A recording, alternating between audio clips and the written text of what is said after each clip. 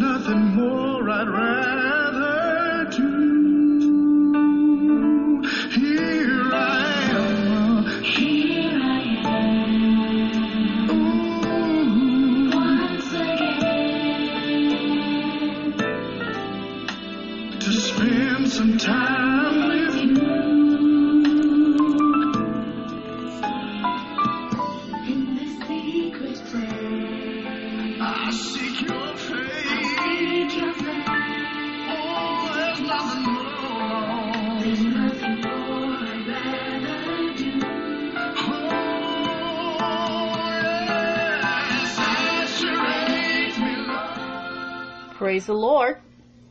This is Prophetess Equilla, and you are joining me for Time in the Secret Place, where I'm here with you every Tuesday and Thursday on the New Creation Christian Network. I want to say welcome. Thank you for joining me. And we are going to continue this podcast session. This is a part two.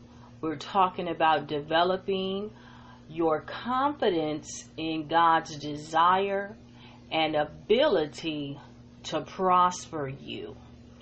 And when we talk about prosper, we're talking about giving you good success in everything that you're doing. When we're talking about prospering, we're talking about prospering you financially. We're talking about um, wealth and increase coming into your life because of your relationship. Hallelujah, your covenant relationship with God. And because God is faithful to His word. And when you walk in covenant relationship with God, there are different blessings of prosperity that He has promised. And we really went through um, some of those scriptures during session one. And in this session, we're going to continue. Um, but in this session, we're going to focus more on what we can do. Hallelujah. To get the blessing, the financial provision that we need in our life by obeying um, the Word of God. Okay? So let's jump right on in here. I'm going to give you just a brief definition of prosper and prosperity. I shared this in the first session, but um, just so that we can set our hearts and mind again during this time. Prosper. When we talk about God prospering us, we're talking about Him, hallelujah, the favor of God to render success, to render what we are doing successful. Prosperity means that we are advancing, that we are gaining, hallelujah, that we are having successful progress in our ministry, in our businesses, um, in the work that we are called to do. Remember, the Word of God says that He will bless the work of our hands. So, hallelujah, we are just going to be prosperous, successful, hallelujah, as we continue to walk with God and walk in the ways of God. Now, throughout the Bible, God is clear. His plan for His children is abundance. Um, there are approximately 500 references to faith and 500 references to prayer in the Bible, and I have taught on prayer and I have taught on faith um, already in 2019. So I want you to know that there are 2,000 references to finances in the Bible. So what we're talking about is still very biblical and it's still very scriptural. And that's why we take the time to go through the scriptures. Hallelujah. So that you know hallelujah, if it's in the word of God, hallelujah, you can expect it and believe for it in your own life. Hallelujah. And so just get it in your spirit right now that God wants to prosper you. God wants you to prosper. Hallelujah. And so he wants you to know, he wants us to know how to achieve wealth properly and how to handle it wisely because you know, when Christians prosper, when the true believers, when the disciples of Christ have prosperity, then the whole world stands to prosper. Hallelujah. Because we understand that He gives us, hallelujah, prosperity with a purpose. Hallelujah. That is to, hallelujah, further the kingdom of God. That we are going to take on kingdom initiatives. Hallelujah. What am I talking about? I'm talking about, hallelujah, feeding the sick.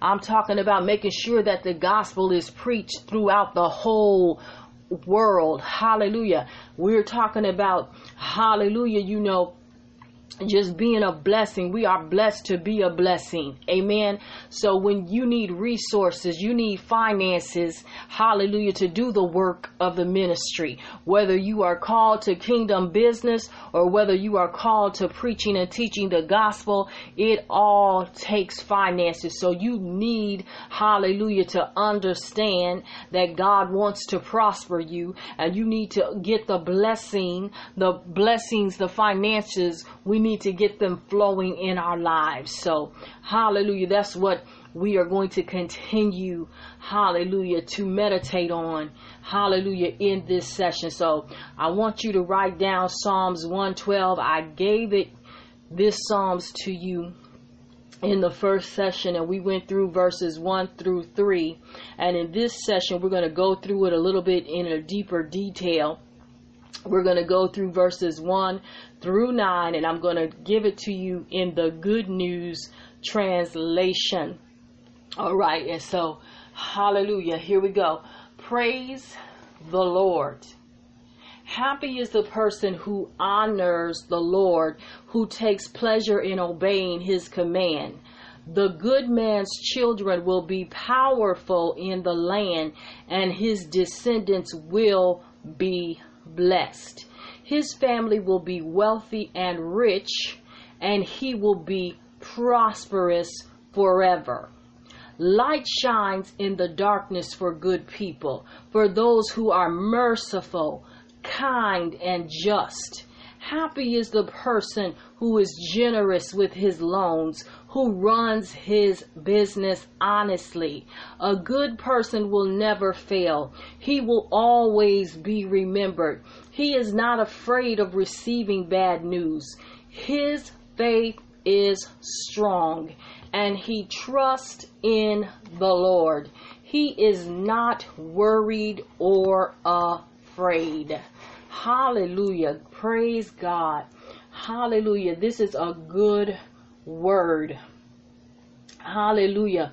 Praise the name of Jesus. All right, I'm going to keep going. I'm in verse 8. I had to just stop and meditate. That hit my spirit. Okay. Verse 8 He is not worried or afraid. He is certain to see his enemies defeated. He gives generously to the needy, and his kindness never fails. He will be powerful and respected. Hallelujah. There is so much in that passage of scripture for us. Hallelujah. You are a righteous person. You are in right standing with the Lord. Hallelujah. You are hallelujah a person. Hallelujah. As Christians, this is this is our character. This is who we should ascribe hallelujah to be. We should be people. I'm pulling from the that this passage. I'm pulling these things, these traits.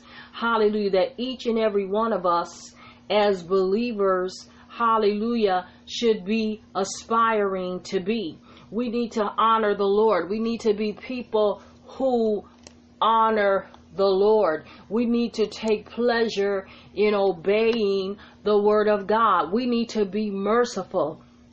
Hallelujah. God has given us mercy and we need to be merciful to others. We need to be kind. We need to be just. Hallelujah. We need to be generous. Hallelujah. We need to be honest in all of our business dealings.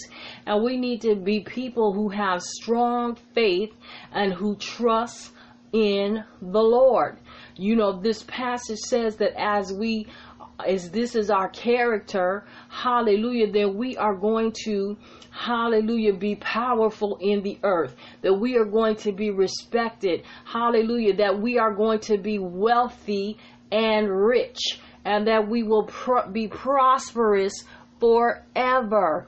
Hallelujah. So God desires his children to prosper. Hallelujah. When we walk in His Word, when we obey His Word, hallelujah, He's promised, hallelujah, hallelujah, He's promised that we will be wealthy, we will be prosperous people in the earth. Okay, so just remember that the blessing, the uh, empowerment to prosper, I gave you that. One of the definitions of blessed is to be empowered to prosper. So when the blessing of God, hallelujah, is on our lives, we are empowered to prosper. Hallelujah. And obedience, hallelujah, will also bring the blessing, will also get the blessing working in your life as you come in line, as you bring your life in line, hallelujah, with the word of God, hallelujah, as you obey the word of the Lord, hallelujah, the blessing will begin to activate in your life even more and more. Hallelujah. Praise God. Hallelujah. Let's look at Job 36:11. I'm going to give this to you from the NIV and then I'm going to give it to you from the GNT. So here we go. If they obey and serve him, they will spend the rest of their days in prosperity and their years in contentment. Hallelujah. Now, see, that's a good word. I just said that obedience is going to bring, hallelujah, the blessing. All right. Here it is, that same scripture, Job 3:11 in the Good News translation. It says, "If they obey God and serve him, they live out their lives in peace and prosperity." Okay? So we've got to be bring our lives into obedience. We have to obey the word of the Lord. And as we are obedient and we serve God, hallelujah, the promise is that we will live our lives, hallelujah, in peace and prosperity, that we will have years, we will spend our years in contentment. Hallelujah. Receive the word of the Lord right now. Hallelujah. Because some of you, you're worried and you're fretting. Hallelujah. Life has been hard. Life has been challenging. Hallelujah. But this word will come to build your faith. This word will come to bring hope. And this word will come, hallelujah, to just build you up in the area of faith. Build you up spiritually, okay? So say this after me. Repeat after me. Say, because I am obedient to God, I expect to spend the rest of my days in peace and prosperity.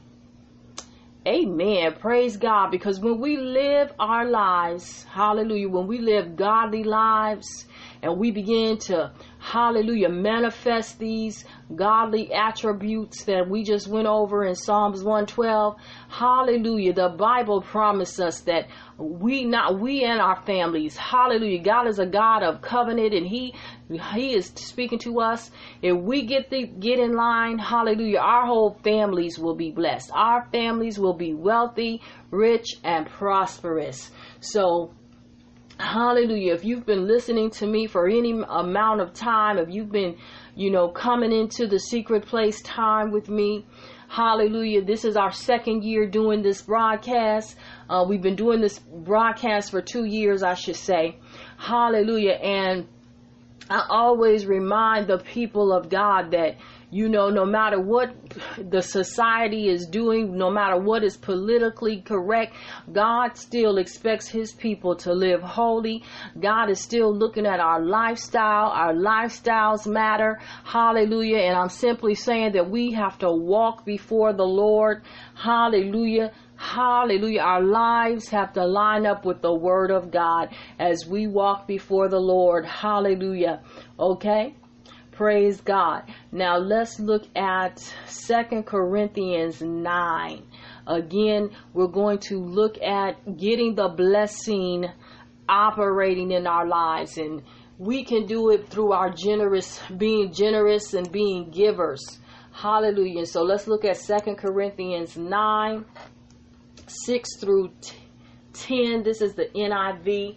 It says, Remember this whoever sows sparingly will also reap sparingly, and whoever sows generously will also reap generously. Verse 7 Each of you should give what you have decided in your heart to give, not reluctantly or under compulsion, for God loves a cheerful giver verse 8 and God is able to bless you abundantly so that in all things at all times having all that you need you will abound in every good work. As it is written they have freely scattered their gifts to the poor. Their righteousness endures forever Number t- verse 10. Now he who supplies seed to the sower and bread for food will also supply and increase your store of seed and will enlarge the harvest of your righteousness. Praise God. There is so much in that verse. Hallelujah. So much instruction, so much um, promise. You know, your giving affects how you receive. This is how, hallelujah, you can get the blessing operated, operating in your life. If you sow, you have to sow. Hallelujah. You have to give.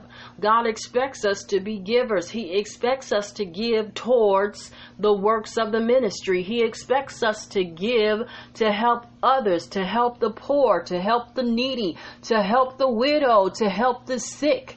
Hallelujah. He expects us as His children, hallelujah, to have His character, hallelujah, and to serve Him. We serve Him in many ways, and in one of the ways you serve the Lord is in giving, hallelujah, to the works of the ministry. Hallelujah. Remember, he wants you to be a cheerful giver, to do it cheerfully and willingly. God doesn't force you to give. You should never give because you feel forced to give. But when the Holy Spirit prompts you, hallelujah, to give in a certain area, to give into a certain ministry, to give into a certain humanitarian work, to give, He might tell you, hallelujah, yes, give, give to, um, to to the red cross you know maybe there's been a world disaster. He may he may prompt you hallelujah to give for relief efforts. Hallelujah.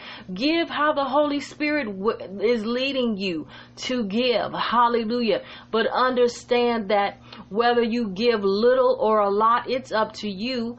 But God has promised you that you're going to be blessed. Hallelujah. The measure you give out is the measure it's going to be given back to you.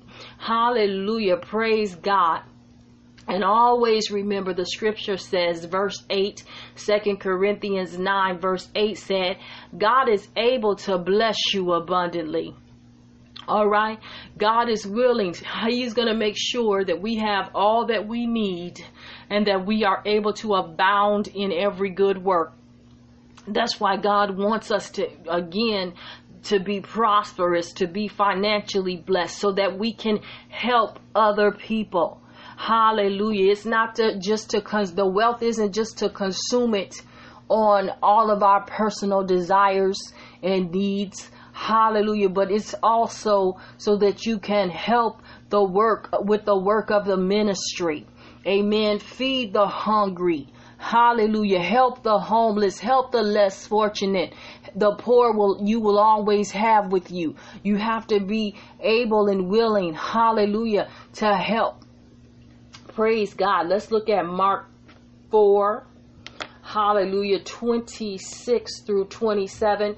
This is from the NIV. This is the parable of the growing seed. It says, He also said, This is what the kingdom of God is like. A man scatters seed on the ground night and day. Whether he sleeps or gets up, the seed sprouts and grows, though he does not know it. Okay, so when you sow, the, we read in Second Corinthians 9, hallelujah, that whatever, when you sow, you're going to reap. Okay, so if you sow, when you sow seed, you're going to reap. And so this scripture is saying that when you th- when you sow your seed, hallelujah, that seed is going to sprout up and grow. Hallelujah. So you can expect a harvest. Hallelujah. You can expect financial harvest. Hallelujah. If you are a sower, let's look at um, Genesis 8:22. This is coming from the Amplified Bible. It says, "While the earth remains, seed time and harvest, cold and heat, winter and summer, and day and night shall not cease. So while the earth remains, there will always be seed time and harvest. There will always be a time to sow. And when you sow, hallelujah, there will always be harvest. Hallelujah. So say this after me. According to the law of seed time and harvest, I have sown and I will receive a harvest in the name of Jesus. Hallelujah. Amen. Hallelujah. Let's look at Genesis. Um let's look at verses 1 and 11 it says this is coming from the NIV it says then God said let the land produce vegetation seed bearing plants and trees on the land that bear fruit with seed in it according to their various kinds and it was so. Okay? So i'm giving you this scripture to show you that the word of god says hallelujah there are various kinds hallelujah of seed and so when we sow finances we are sowing financial seed and so that financial seed is going to produce a financial harvest. Okay? So say this after me I have sown financial seed, and I am expecting them to produce a financial harvest in my life in the name of Jesus. Hallelujah. Praise God. Hallelujah. Now let's look at Luke 638. Again, we're talking about hallelujah, getting hallelujah, God's ability, hallelujah, to prosper us financially and how we can play a role in, in, in getting that operating in our lives because of our seeds, because of our giving, because of our sowing. Hallelujah. Let's look at Luke 6:38. I'm going to give it to you from the NIV and it says, Give, and it will be given to you a good measure, pressed down, shaken together, running over, will be poured into your lap. For with the measure you use, it will be measured to you. Okay, the good news translation of the same scripture says, Give to others, and God will give to you. Indeed, you will receive a full measure, a generous helping poured into your hands all that you can hold. The measure you use for others is the one that God will use for you. So the word of God is clear. When we give to others, God will give to us. Okay? Hallelujah. So that's a promise in the Word of God that you can hold on to. If you have been giving, if you have given in the past, and you're waiting and you have not received, and you are, you can ask God, you can begin to declare, Hallelujah. God, your Word says that as I give to others, Lord, that you will give to me. Hallelujah, Lord. And I'm expecting you to give to me full measure, a generous helping. I'm expecting you, God, to pour it out into my hands. Hallelujah. So much that it overflows, that I can't hold it in my hands. Because that's the word of God. That's what the word of God says. And this is how we stand on the promises. This is how we put a demand on the promises of God. This is how we press in and receive by faith. Hallelujah. We have to take hold. We have to lay hold of the promises of God. Amen. Hallelujah. I want to share a couple more scriptures. We just have a couple more minutes. So this is Proverbs 19, hallelujah, 17, and we're talking, I was talking about giving. And when the word of God says that when we give to the poor, we're lending to the Lord, and that's Proverbs 19, 17. It says, Whoever is kind to the poor lends to the Lord, and he will reward them for what they have done. It says he will reward you. The Good News Translation says, When you give to the poor, it is like lending to the Lord, and the Lord will pay you back. Okay? So you can expect God, hallelujah, to pay you back. Hallelujah. God doesn't lie. His word doesn't fail. If God said he will pay us back, we, he will pay us back. Hallelujah. And we can also believe God for the wealth transfer. This is um, Proverbs 13 22. Go ahead and write it down. It says, A good man leaveth an inheritance to his children's children, and the wealth of the sinner is laid up for the just. So we just have to begin to call that money in during our prayer. Hallelujah. Let's say this. Say this. Say, Lord, I thank you.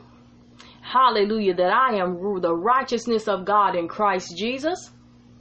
Hallelujah. And you are transferring the wealth of the sinner into my hands. Hallelujah. Praise God. Hallelujah. Well, that's a good word. Hallelujah. Hallelujah. Praise God. And as we wind up, my time is almost over. Hallelujah. I just declare and decree over you, hallelujah, that you are children of God, the Most High God, and that God is going to supply your needs according to his riches and glory. And I just declare over you this morning that God, hallelujah, is going to prosper you in every area of your life. Hallelujah, that there shall be nothing missing and nothing broken and nothing lacking in your life. Hallelujah. And give it to you from the King James, and then I'm going to give it to you from the contemporary English version. And it says, For I know the thoughts that I think toward you, saith the Lord, the thoughts of peace and not of evil, to give you an expected end. And that same scripture in the contemporary English version says, I will bless you with a future filled with hope, a future of success, not of suffering. Okay? So you need to begin to just meditate on that scripture right there. You need to begin to meditate on that word because many